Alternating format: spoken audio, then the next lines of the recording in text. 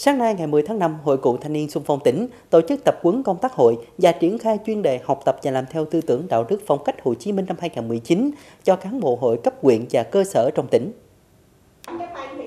Tại hội nghị, đại biểu được nghe thường trực tỉnh hội triển khai các chuyên đề tóm tắt về lịch sử truyền thống thanh niên xung phong Việt Nam qua các thời kỳ, quá trình hình thành, xây dựng, phát triển tổ chức Hội Cựu Thanh niên xung phong Việt Nam, Hội Cựu Thanh niên xung phong Tây Ninh,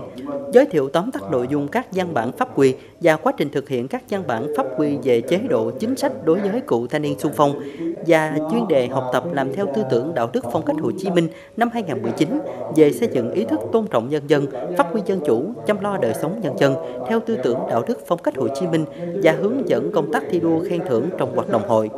Lớp tập huấn nhằm trang bị kiến thức, nhận thức về tổ chức hội, công tác hội cũng như lịch sử truyền thống thanh niên xung phong, chế độ chính sách liên quan đến cựu thanh niên xung phong cho cán bộ cơ sở.